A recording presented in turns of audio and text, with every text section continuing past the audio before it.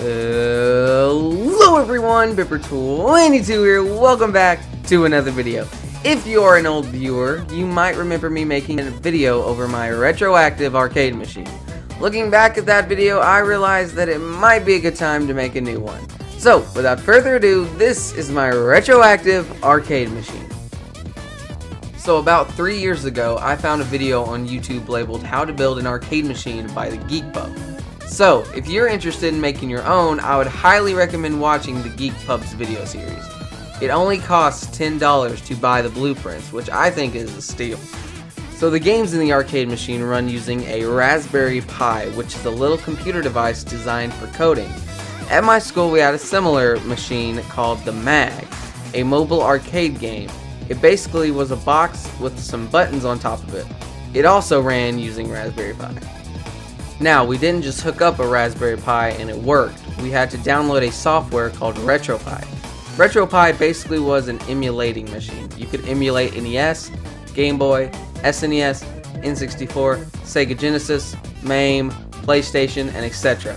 It is one of the coolest programs I have ever used. Now, as far as the cabinet, as I mentioned, we got all the blueprints from the Geek Pub. We used all MDF wood for the cabinet we spray painted the box black with a $20 spray gun found at Harbor Freight. The buttons, joysticks, monitors, speakers, and lights were all bought off Amazon. Finally, after three months, we finished the arcade machine. In total, we spent around $300 on the entire thing. Flash forward to today, where we finally bought new graphics. Came in the mail today. It's the asteroids side panel for our retroactive arcade machine. This is gonna be fun. We are cutting the edge of the marquee. Asteroid is in, and it's not playing for asteroids. It will not play asteroids. Whatever. Now we just gotta put the graphics on the side and we'll be done. But it's worth it. So we're gonna lay the arcade machine on this quilt. We're gonna go ahead and put the asteroid decals on the side of it, on both sides, and it should look good. It's dusty. Won't stick.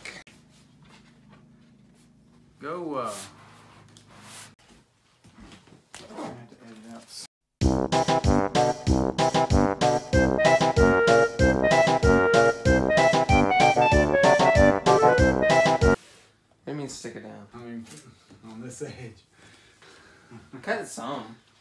Well, I mean, it's gonna be hard for. I either gonna cut it or I'm not because I'm using this as my guide for my cutting. What do you think smarter? No, we need to cut it because we have to take the back off. Then that's gonna. Oh yeah, that would screw it up.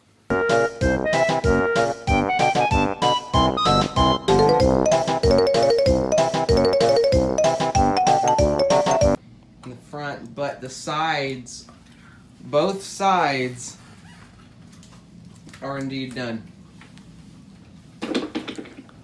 Honestly, hey, couldn't I, have worked out worse. should I roll this? This is awesome. So there you go. That is my retroactive arcade machine.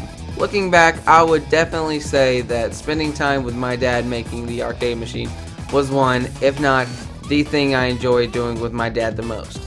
If you did enjoy this video, make sure to slap that like button down below. Make sure you break your computer. Don't forget to subscribe to become a part of Bimp Nation, and I'll see you all in the next one. Bye.